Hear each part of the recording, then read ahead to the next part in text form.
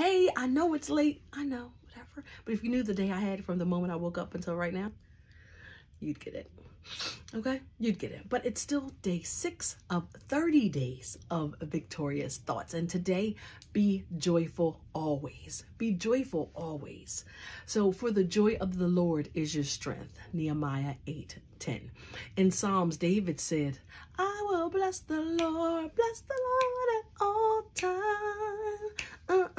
Right. Mm-hmm. And he said, and his praise shall continually be in my mouth. yeah, his praise shall continually be in my mouth. And at all times means in the good times and in the bad times. And the Bible tells us to stay full of joy no matter what we're facing because the joy of the Lord is our source of strength and the enemy knows it.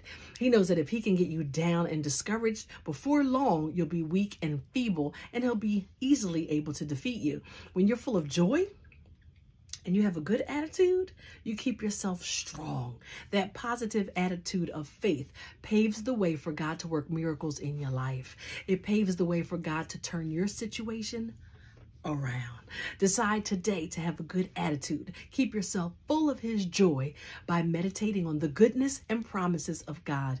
Be full of the joy of the Lord. You'll soon experience supernatural strength and discover the victorious life God has planned for you. So again, even though it's late, here's our prayer for the rest of the day. Dear Father, thank you for filling my life with joy. Thank you that I am blessed and cannot be cursed. Thank you that in all things you cause me to triumph. Thank you for your strength within me that comes from that joy. I bless you today and rejoice in your goodness. All right, so be joyful always, no matter what. I know it's hard.